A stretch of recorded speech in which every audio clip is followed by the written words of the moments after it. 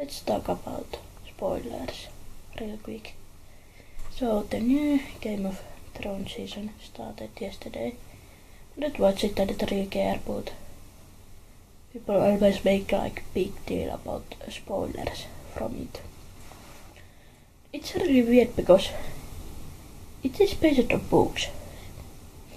And is the if it happened on a book that was published before the movie, you can't spoil it if the book is old.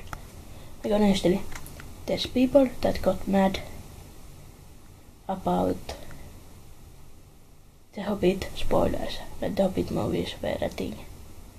The book has been out for decades.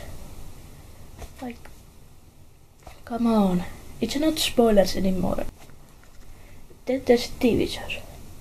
Like, I once got, I once got punched in the face because I thought about something that happened on a TV show in the first two seasons when my friend started watching it and I kind of went, okay, are you in this episode yet? And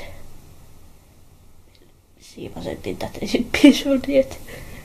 But at that time, that season was around eight, seven or eight years old. So it's not a spoiler anymore. So think about like it's about a